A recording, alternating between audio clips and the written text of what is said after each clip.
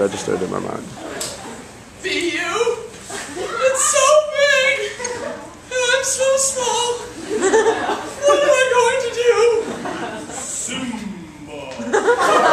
That's not my name, it's Maxwell!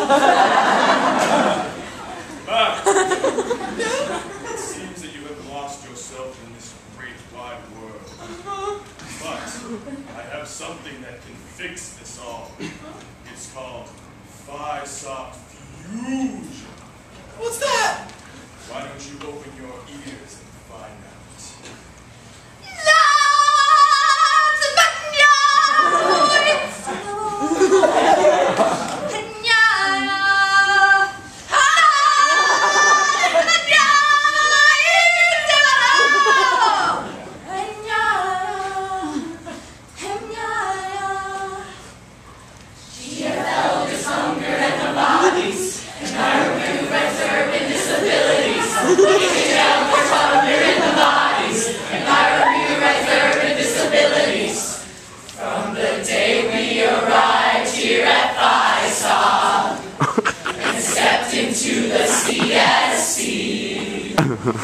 Hear us all cheer as we all volunteer